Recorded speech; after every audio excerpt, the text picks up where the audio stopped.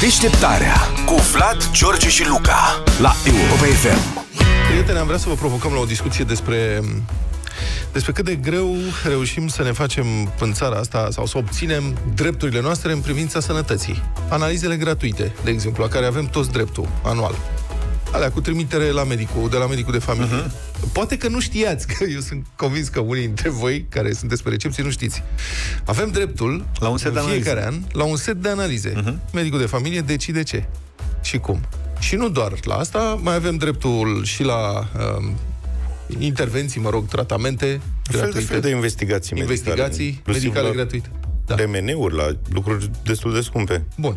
Și când încerci să le obții, de obicei trebuie să te programezi, cum să spun, în primele ore din primele zile ale lunii. Îți testează și răbdarea cu ocazia asta.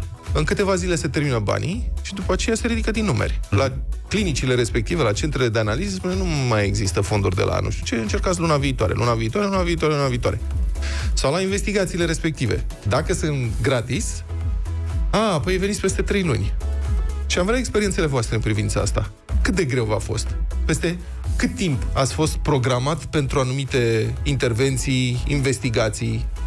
Că alta e când te duci să plătești. Dacă te duci să plătești, lucrurile se rezolvă foarte repede. Știți Absolut. că noi plătim taxe din banii pe care îi câștigăm în această țară, cei mai mulți dintre noi plătim și avem dreptul legal, în baza contribuțiilor noastre de sănătate, la tratamente medicale. Anumite tratamente, nu toate. Dar când te duci să-ți ceri drepturile, se ridică din numeri. Și este... Bun, analizele acestea uh, medicale, setul ăsta de analize, sunt un foarte bun instrument de prevenție. Adică, dacă facem asta constant, putem să identificăm din timp niște boli care apar, tratamentele sunt mai ușoare, sunt mai multe șanse uh, să ne vindecăm. Din Mai puțin păcate- costisitoare? mai puțin costisitoare, mai puțin traumatizante. Da, că corect. Și tratamentele pot fi mai ușoare. Din păcate, în România, și din cauza faptului că nu sunt aproape niciodată bani, oamenii sunt descurajați, nu se duc să-și facă analizele astea, băi, decât să îmi bat capul, nu știu, la asta, asta e, mă duc când o fi nevoie. Și în România este în topurile europene, de exemplu, rata mortalității evitabile prin prevenție este în România a treia cea mai ridicată din Uniunea Europeană.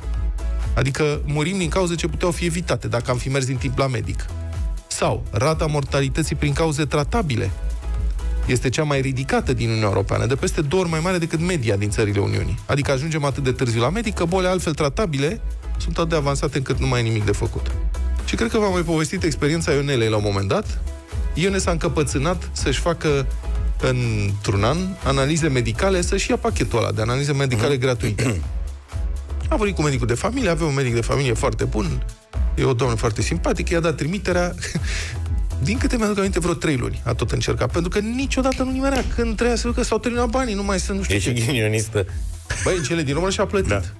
Și și eu Ideea e- plătesc. Și să spun ceva, și maica mea, care are 90 de ani, dacă mă aude că i-a spus vârsta Să-ți la radio, trăiască. se supără Să rămână, doamna Petrenu. Sănătate. și care a plătit toată viața ei uh, asigurări medicale și care vorba aia s-a pensionat în urmă cu doar 5 ani și a, a fost angajată și a plătit taxe și ea preferă să-și plătească intervenții când se duce să-și facă controle medicale, plătește. Asta vreau să spun Ca că să e, nu stea. e foarte aglomerat și nu găsești loc în condițiile în care foarte mulți oameni nu fac lucrul ăsta. Nu se duc la... Iată, bravo. Că dacă te duci Bună la medicul de, observație. Eu, de exemplu, la medicul de familie, la câteva străzi mai încolo, mi-e la îndemână, și uh, folosesc lucrul ăsta, pentru că oricum plătesc contribuții foarte mulți bani, că prin medicul de familie cu trimitere poți avea consultații gratuite la tot felul de specialități. Multă lume nu-și bate capul cu asta. Iar o consultație acum e 300-400 de lei, adică vorbim de bani serioși. Mai mult, Da. Deci am vrea să vă auzim. 0372 069599 prieten, telefonul nostru sau mesaj audio pe scurt dacă aveți, la pe WhatsApp 0728 32132. Vrem să vă ascultăm și să vă auzim experiențele. Cum vă organizați ca să beneficiați de analizele gratuite?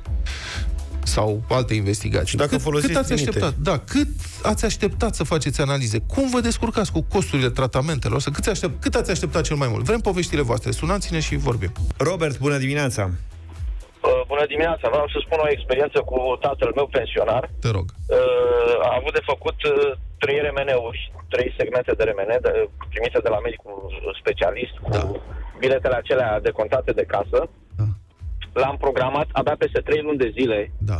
din septembrie, undeva puțin înainte de Crăciun. Uh, Ne-am dus să le, să ne prezentăm acolo și unul din bilete uh, a avut un pic data îngroșată că nu i-a funcționat pixul cum Și trebuie v-au respins. medicului și acela l-a respins. Nu cred. Să mergeți înapoi la medic. Zic, doamnă, da, am sunat pe medic, medicul a zis, domnule, eu sunt plecat în vacanță de Crăciun, nu pot.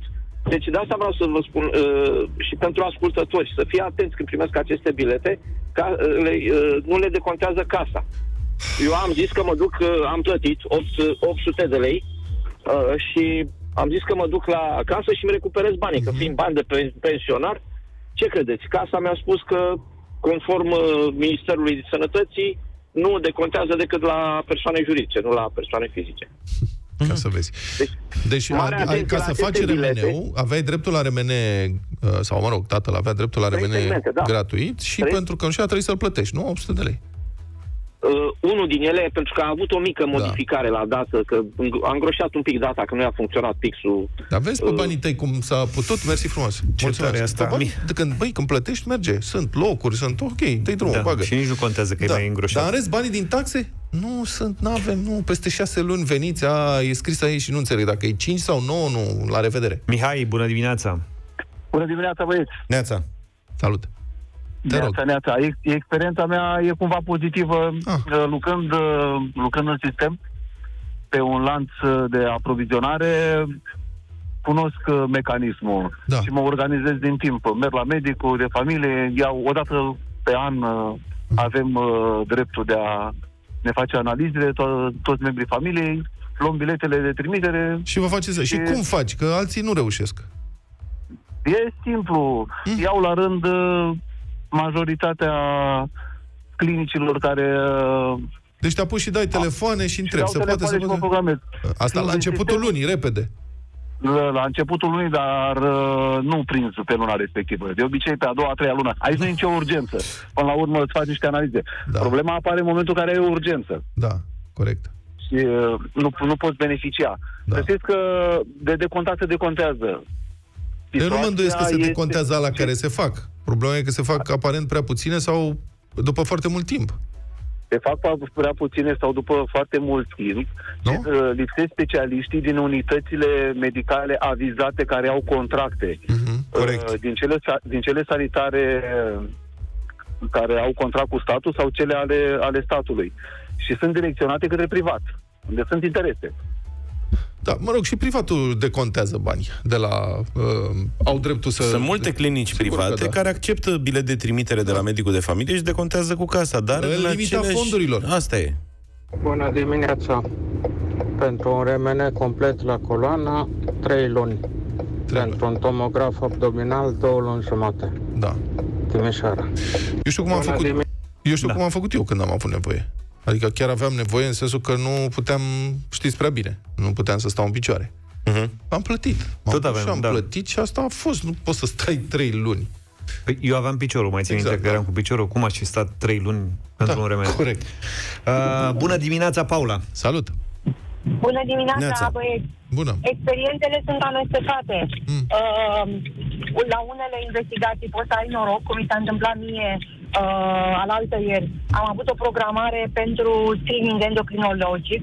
Am așteptat trei luni pentru adresarea la medicul specialist. Uh, m-a văzut și mi-a recomandat, bineînțeles, pogonul de analize, uh, dar decontate de casă. Da.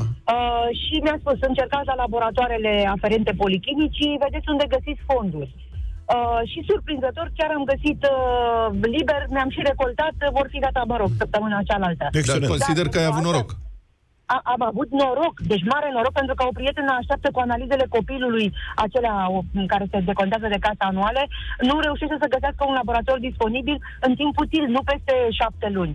Iar uh, legat de alt screening uh, pentru vârsta mea, uh, exact cum a spus la începutul uh, intervenției, uh, trebuie să dai telefon pe, într-o anumită zi a lunii, de exemplu pe 5 decembrie, uh, am nevoie să fac o mamografie. Uh, și dacă nimerești în primele șapte apeluri telefonice, prinzi uh, decontare prin casă. Dacă nu, am zis, bine, ok, nu o să am răbdare, n-am timp, nu știu dacă pot să sun în intervalul ăla orar și dacă prind, vreau cu bani. Ah, da, când doriți? Uh, pe 12 decembrie. Pe 12 decembrie, gata, E care ca la concurs la noi, ca la trebuie să dublu pleci sau din nimic, repede. exact. știi? Dar La e- dublu măcar te trage din Da, da, da. înscriși de E pe site. ireal și uh, eu cred că noi, cu toții, ar trebui să fim Revoltați. super indignați de această situație, pentru că nu trebuie să fie o chestie... Plata taxelor nu e o chestie de noroc. Adică Exact. statul nu spune dacă nu plătești taxele pe salarii, a, păi n-am avut noroc. Hai că mai încerc luna viitoare, poate îmi plătești luna viitoare.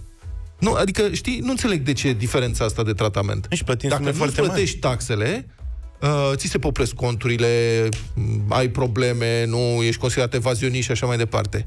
Dacă trebuie să beneficiezi de banii pe care i-ai plătit, hai, poate ai noroc sau nu. Mai încearcă luna viitoare. Serios? Marius, mai avem fix un minut. Bună dimineața! Salut, Marius.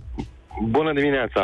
Doar pe scurt, m-am internat într-o sâmbătă în spital, în spitalul județean din Brașov. A trebuit să fac un remene și mi-au spus, a, păi numai joi, în condițiile în care era urgență medico-chirurgicală. Păi zic, dacă în spitalul de stat zic, mă internat sâmbătă și faceți remene joi, Da, incredibil. cum facem?